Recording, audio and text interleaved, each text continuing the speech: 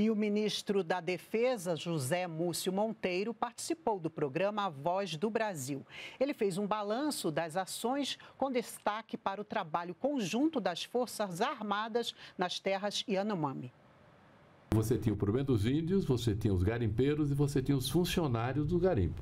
E precisou uma presença maior, foi quando o presidente assinou um decreto permitindo que o exército entrasse mais forte, porque estava na faixa de atuação do Exército. O Exército tem liberdade para atuar até numa faixa de 150 quilômetros da fronteira. É como se estivesse patrulhando a fronteira. E nós tínhamos tribos lá que estavam dentro dessa faixa. Nós estamos trabalhando de forma articulada com a Polícia Federal, que é ligada ao Ministério da Justiça, o Exército, a Marinha, a Aeronáutica. A presença tem sido 24 horas de vigilância e é um trabalho que tem dado certo. E, se Deus quiser, vai ser concluído.